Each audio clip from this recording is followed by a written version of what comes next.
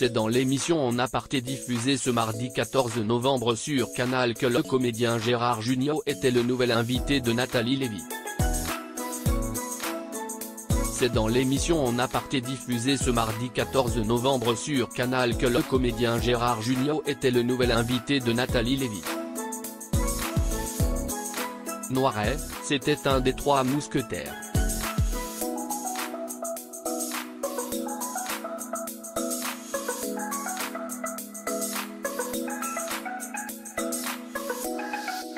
Rochefort, Marielle et lui.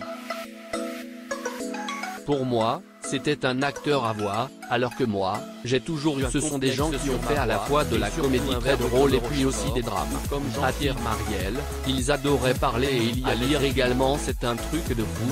Gérard Junior évoque le succès du film Les choristes réalisé par Christophe Baratier. Gérard Junior avait d'ailleurs tenté de le faire jouer dans un de ses longs métrages avant de le retrouver dans le film de Gérard Houry. C'était assez étonnant, parce que, je lui avais proposé le rôle dans une époque formidable.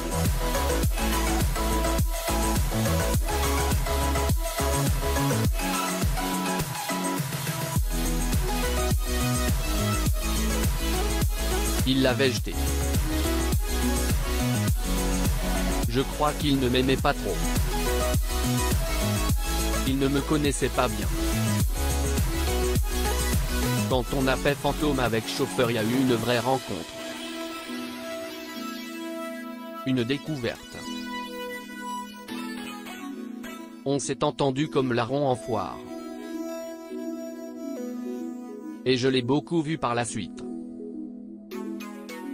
C'est quelqu'un qui m'a beaucoup appris, plein de choses sur la vie.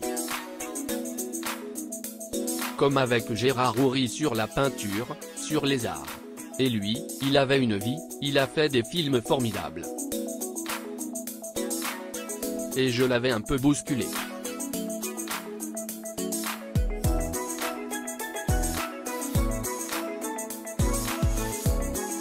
Ça m'amusait de l'appeler Louis XIV a-t-il expliqué à Nathalie Lévy. Dans Fantôme avec chauffeur, on y retrouvait Gérard Junior qui interprétait le fantôme du chauffeur d'un grand patron de la finance joué par Philippe Noiret.